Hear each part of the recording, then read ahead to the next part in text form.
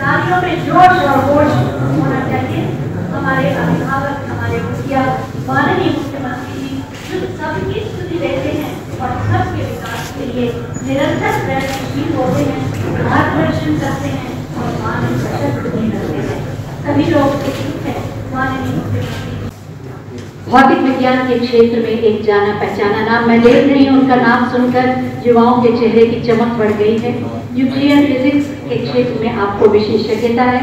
Concept of physics textbook के लिए आप जाने जाते हैं और 2020 में पद्मश्री से भी आपको सम्मानित किया जा चुका है। मैं बहुत ही आदर के साथ professor S C Verma ji से अनुरोध करूँगी। शुभकामनाएँ हैं आपके प्रति। आप अपने बच्चे को प्राप्त करें।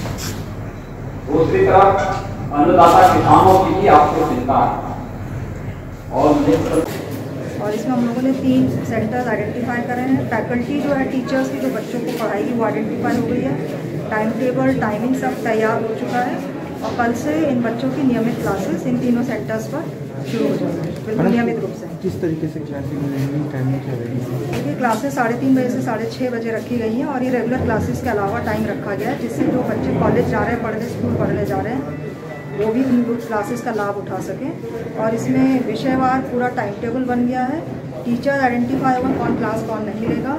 इसके अलावा इसमें अधिकारी जो हैं जो I S P C S के हैं पुलिस के हैं और बैंक के अधिकारी हैं उनके द्वारा भी इसमें क्लासेस दी जाएँगी और बच्चों को मेंटरिंग की जाएगी और मार्गदर्शन प्रदान यहाँ पे तीन रखे हैं हम लोगों ने एस डी इंटर कॉलेज में एन डी और सी डी एस की कोचिंग होगी। जीआईसी मेरठ में नीट और जेई की होगी और मेरठ कॉलेज में जो सिविल सेवाएँ और बैंक की जो परीक्षाएँ उनकी